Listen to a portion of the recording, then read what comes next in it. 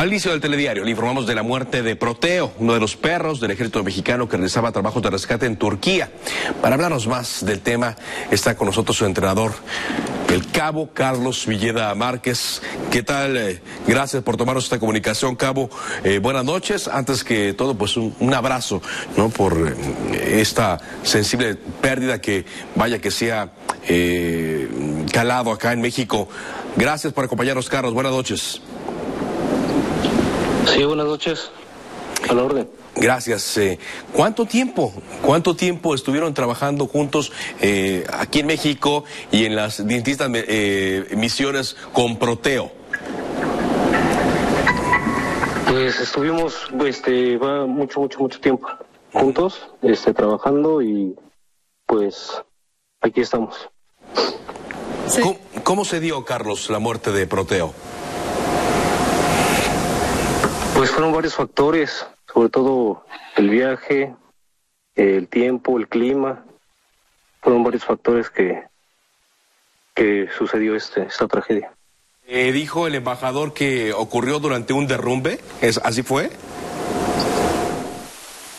Este, no, no, no, no fue este, por ningún derrumbe, fue por situaciones del clima y la edad clima y la, le afectó el clima y la edad, o sea, que el clima que está eh, congelante, como lo hemos visto en muchas imágenes. Así es, así es. Ok.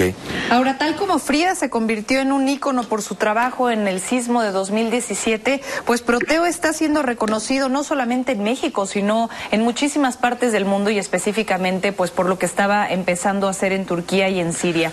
Eh, ¿qué, otros eventos, en qué otros eventos eh, pudo ayudar Proteo?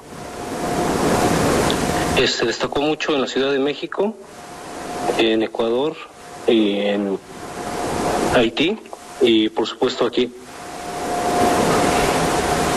aquí en Turquía. ¿Cuántos años estuvo en servicio y cómo fue su proceso de aprendizaje junto con usted?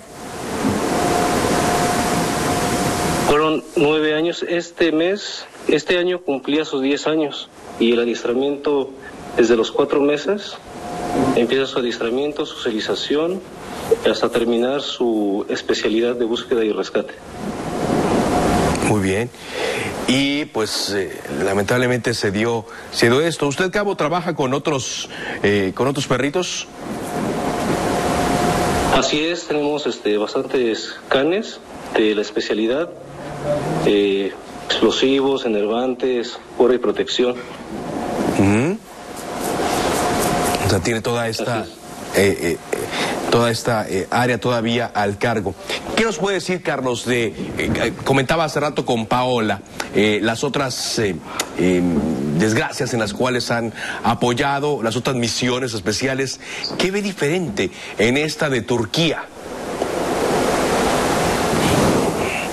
Lo diferente de esto es el, viaje, las condiciones, en, que fue muy, muy, muy largo el camino y este, pues ¿Qué sería el, clima? El clima más que nada que pues sí es muy, muy fuerte aquí. ¿Qué, ¿Qué opina de las muestras de respeto y homenajes que ha recibido Proteo? Pues se me hace muy, me siento muy orgulloso de mi can, porque especialmente que se ha reconocido un gran perro, y no nada más él, sino todos los que han venido aquí y están cumpliendo con su trabajo. Quisiera que pues sí que sean reconocidos todos. Y eso, por supuesto, lo esperamos y estamos seguros. Gracias, Carlos, por tomarnos esta comunicación muy amable. Gracias. Gracias a usted. Buenas noches y un abrazo.